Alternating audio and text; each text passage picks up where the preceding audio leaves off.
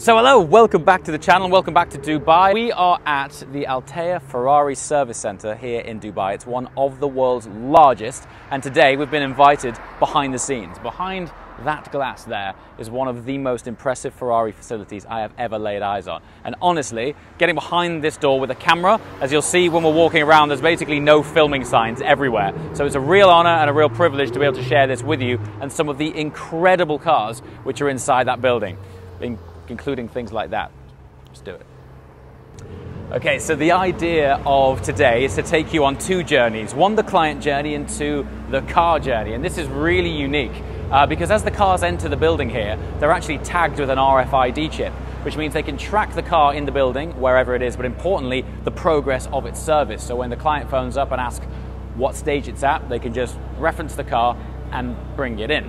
So things look like this. This is the handover bay, effectively. So in theory, cars come in and out here. They will be stored over here, waiting for them to go into a service, and they will line up here uh, when they are ready to roll out of the door. And we're going to show you what takes place in between those two stages. that thing sounds well. I'm not sure if that's stuck or not, but it sounds brilliant. Pista Aperta here, casual. All right, so this is the kind of experience you get, beautifully whitewashed clarity, and then you end up in a room like this. Now, normally, if you're a client, you'd be greeted by a wonderful person working for the brand, uh, immersing you in some fantastic coffee while you can uh, peruse the room, really, uh, looking at artifacts of all sorts of wonderful Ferrari items. But the real special journey is what else you get to experience. Now, I'm not aware of another Ferrari experience quite like this. From all of the uh, showrooms and service centers I've been to, so far, stepping foot through the door here, it's the most impressive one yet. Now, check this out. If you wanted to wander around as a client, you could head, look at this. It looks like something from Iron Man's headquarters. So you can come down here, and these are all of the offices of the service advisors. We have deconstructed pieces of equipment here, so you can see how your carbon ceramic brakes and wishbone suspension system works on your Ferrari, always nice. And then you would have your consultation in rooms like this. So say, for example, you have something specific that you want to discuss on your car. Maybe you want to know how something works. Your consultation is in there. Now, what's really trick, and we've come full circle here, is, and this is something I've never seen, is this ramp here.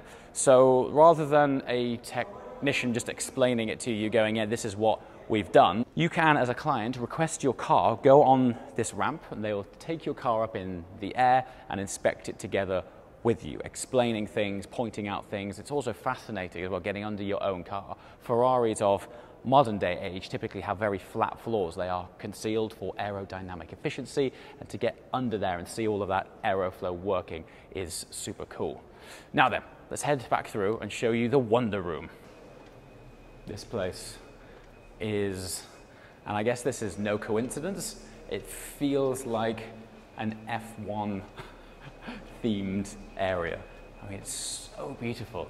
Behold where the magic happens. Now, one of the things that struck me immediately as I walked in this room is this thing here, this beautiful array of plants, uh, is not necessarily uh, synonymous with a service bay. But what's really interesting and really important is the corporate identity of the interior theme of this workshop has almost an identical feel to the actual factory back in Maranello in Italy. Why I say that is Ferrari pride themselves in their factory, in their working environment, to try and make it as organic and natural as possible for all of the employees there. And a big part of that is fitting out effectively natural foliage and trees. So when you walk around the factory, between each production stage and lining the halls are beautiful trees juxtaposed against the robots and people who are handcrafting these incredible cars.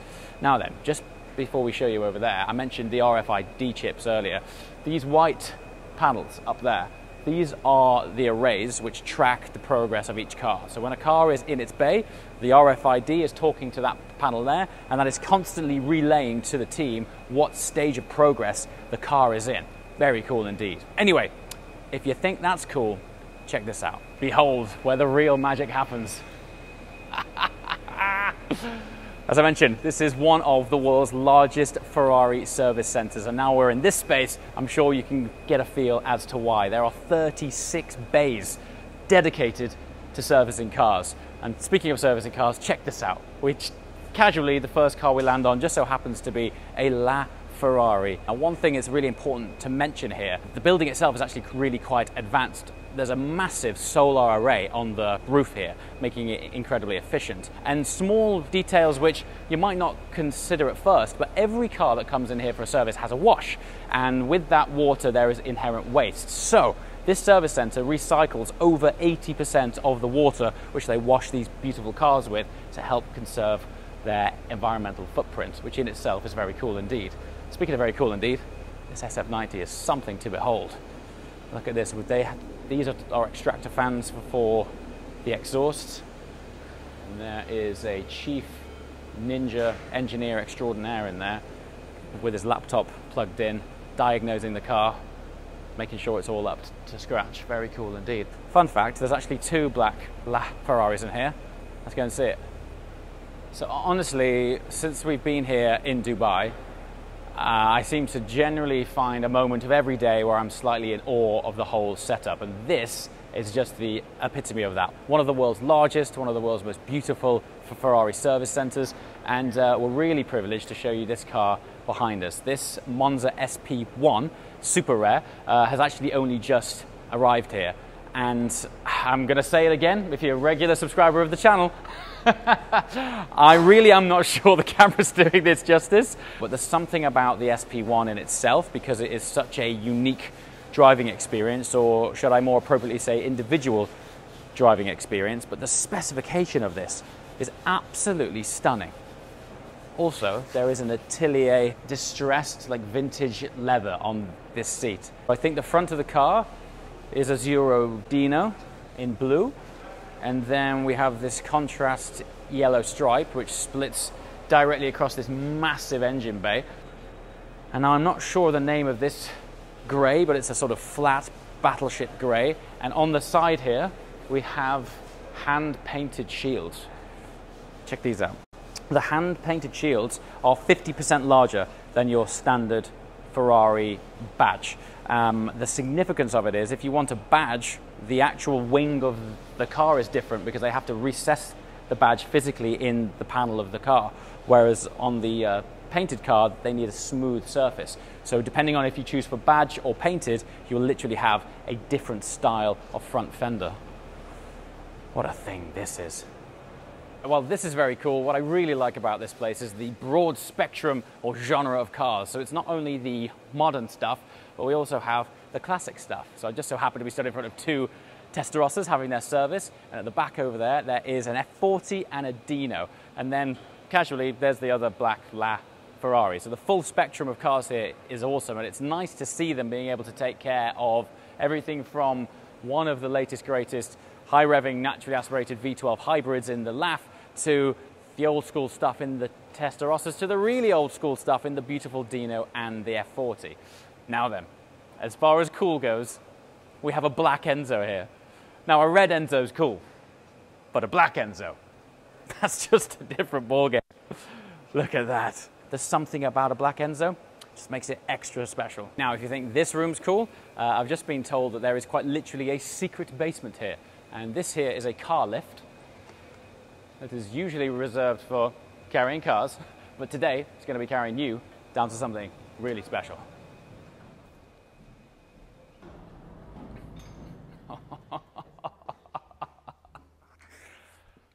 I think I underestimated the size of this place. Without exception, definitely one of the world's largest Ferrari service facilities. So this basically what I'm told is no one films down here. Uh, and I can kind of see why we've been granted special permission. Speaking of special, look at the spec on this F12. look at this.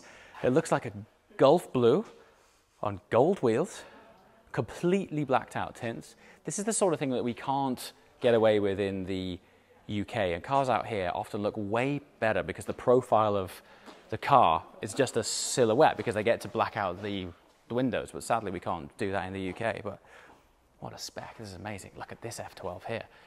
This is a gorgeous paint. Absolutely stunning. And again, with the awesome tints. I mean, it just goes on and on. And it's, look at those lights that just came on. I didn't even see, so that there's another layer behind that wall. That is a beautiful spec 812. I love that. Another 812. So we've got a Grigio Silverstone 812 here, and that might be an Argento Nürburgring, which is basically a primary silver. Okay, so here's a side-by-side -side comparison. Do you remember upstairs when I was saying if you choose a painted shield versus a physical shield, the wings are completely different. So on this one, badge a bit smaller and literally inlaid into the wing versus this painted shield right here. The wing, wing is flat because you have to paint on it and the size of the shield is physically much larger. So when you spec that option on the sheet, not only is that disproportionately more expensive, but there is a reason for it because there's hand painting going on there and a physical change in body panel. Looks very cool. All right, if any of you guys have been following the early journeys of our adventures in Dubai, uh, we recently headed on to the new Yas Marina circuit layout in a Ferrari 458 Speciale, and it pulled at my heartstrings so hard that uh, I had to give Charles and Dean a call. Actually stepped out of the car uh, to find out what sort of finance deal they might be able to, to offer us on uh, one of these back home. So uh, hopefully uh, Simon comes back to me and quotes me happy because that would be cool, wouldn't it? Oh, look at this. This is a British Racing Green on chocolate tan interior. This is hiding away down here. Imagine this outside in the Dubai sunshine. The whole spec would pop incredibly well. These lights aren't bad, but there's something about a British Racing Green Ferrari. That's special.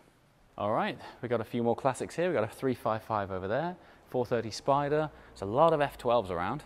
This is a special corner. We've got a black on tan 550 Maranello in manual, front engine V12.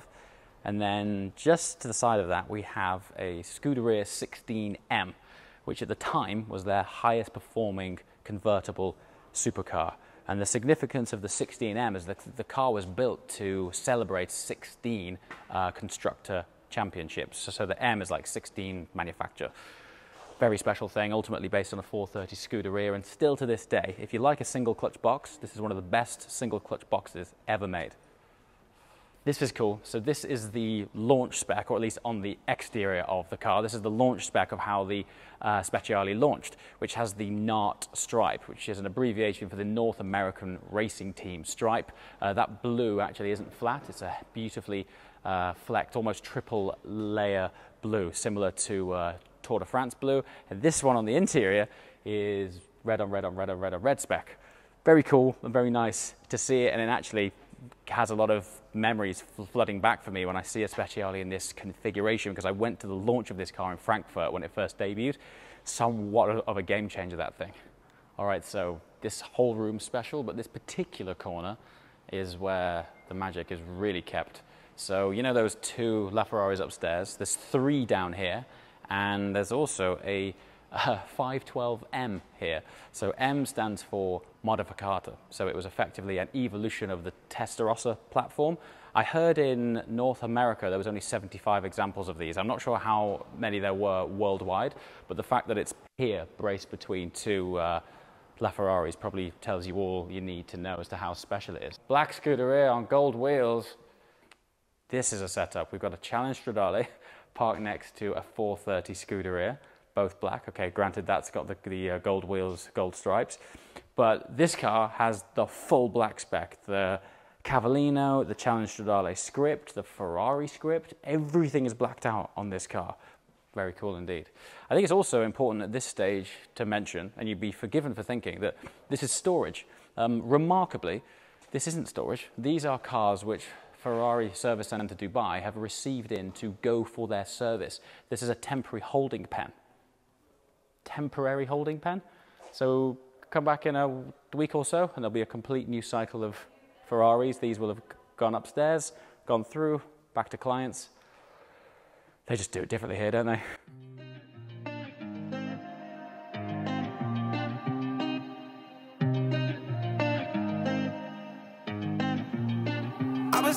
Shining under city lights.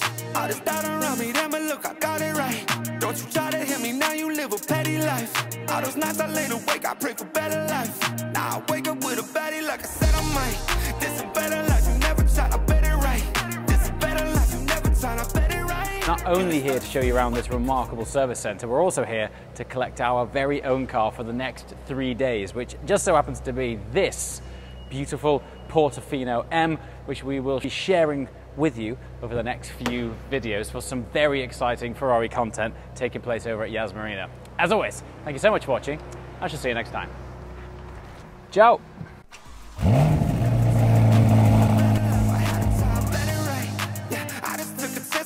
let me write.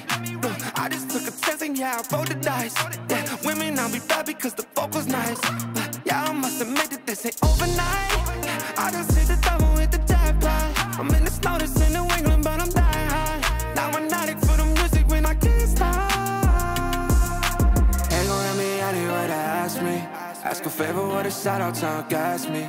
Really, they ain't take a risk, but want the outcome. Then asking how come. Okay, so just a little M piece for this video. Uh, I've just noticed that this has 39 kilometers on the clock.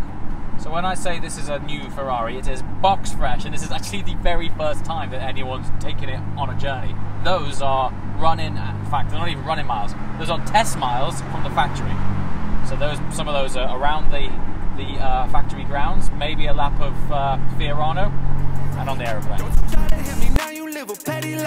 All those nights I awake, I pray for better life. Now I wake up with a like I said I might.